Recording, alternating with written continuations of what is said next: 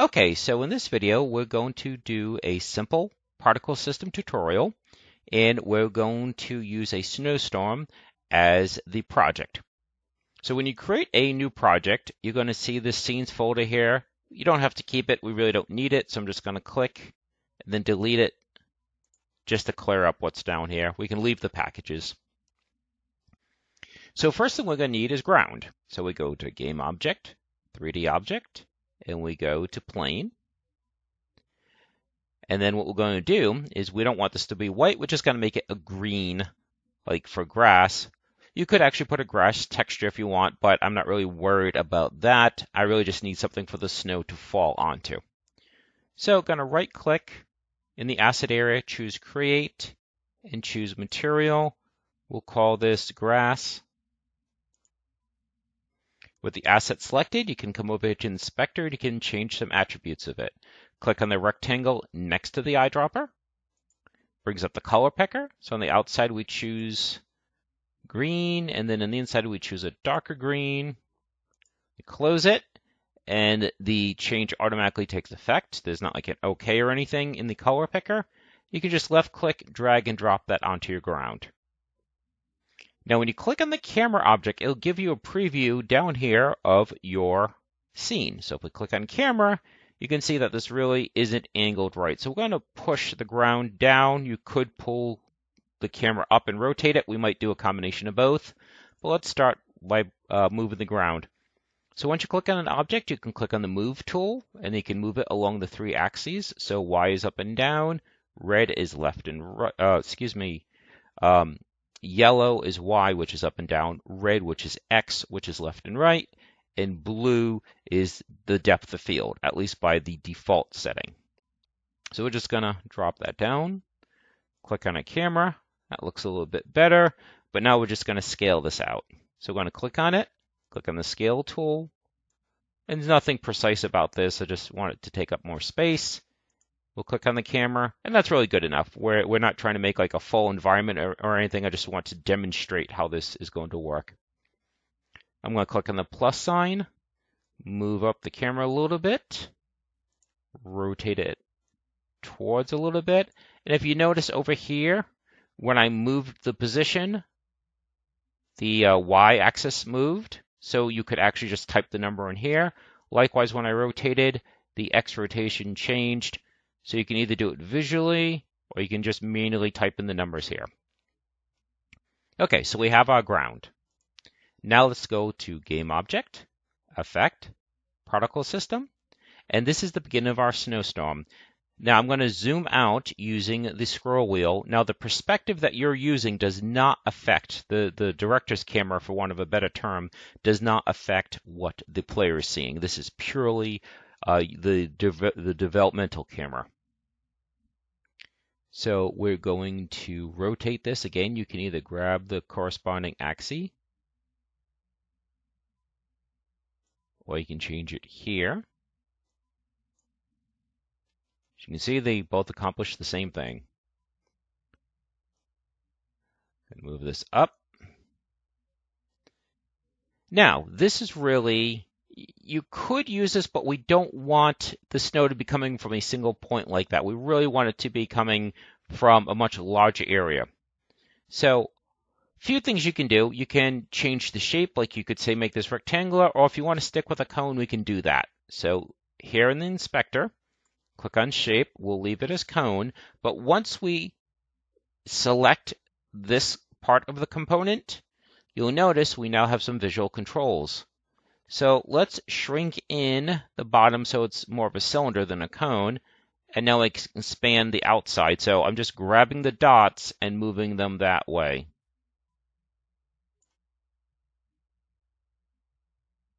Okay, so bunch of things we need to do. Obviously, the snow is falling through the ground. We don't want that. The snow is really kind of big, and it's really not enough coming down. So we'll take those one at a time. So let's change the size of the snow. So again, over here in the particle system, you can see start size. Make that like 0.2. we might decide it's too big. A lot of this is sculpting. It's unless you have a specific calculation for coming up with these, a lot of it's sculpting. It's what looks good to you aesthetically.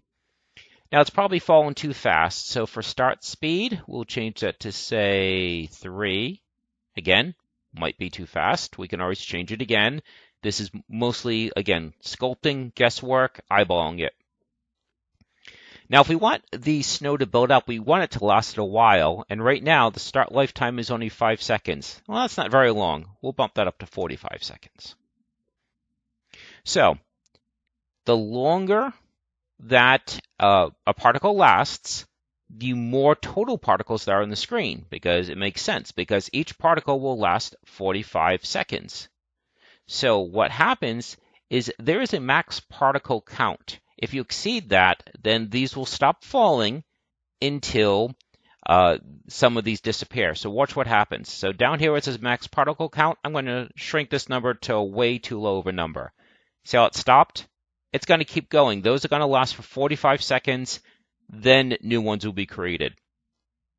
So keep that in mind when you're messing around with like the lifetime and the speed and things like that uh, what the max particle you want. For this demonstration, I'm going to use like 6500. Okay, so another attribute that affects max particle as far as what you would need is emission. So we're going to expand emission. Right now it's only 10. That's the rate over time. So let's bring that up to like 75. So now we have a lot more snow. So that means you might hit this number. So again, you're going to have to be mindful of how many particles are on the screen. It's easy enough to do the math because you can take the rate times by how long it lasts, and you'll know if you've got enough particles. Now what we want is we want the particles to stop when they hit the ground. So what we're going to do is we're going to scroll down, and this is a section called collision. So we're going to click on that, and you have a choice we're going to do collision with world. And suddenly, now they're bouncing. Well, let's look at why. So in the collision area, we have a few things going on. We have a bounce by default. In this case, we don't want it to bounce. So we'll set bounce to zero.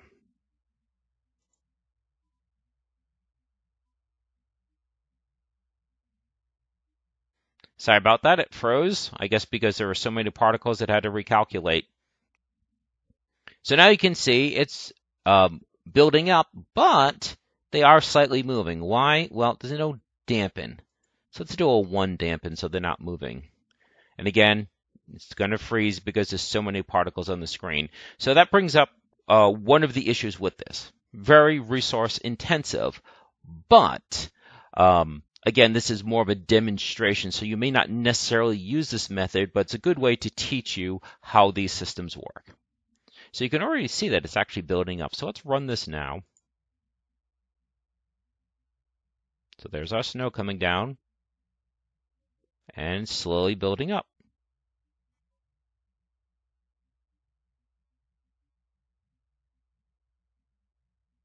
Now, again, aesthetically, is it snowing too slow? Is it snowing too fast? Is it not heavy enough? It's coming straight down. Do you want it to kind of like be moving a little bit more laterally? So what we can do,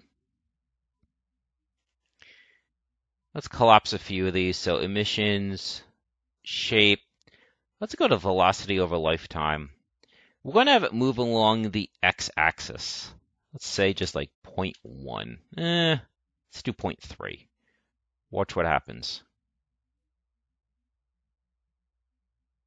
It's a little bit hard to see here, but if you're following the individual particles, they're now moving horizontally. So it's probably easier to see if we select it here in the yeah, it's very faint, so let's increase that a little bit more. Let's do like 0.6. There you go. So that's a little bit more evident that it's moving over. So let's move the particle system over so things aren't falling off. We'll change that a little bit more. Let's make it 0.7. So I want it to be kind of obvious that's fallen to the side. So all right, that's a little bit better now. It's a little bit more obvious that's kind of coming in from the left and go down to the lower right.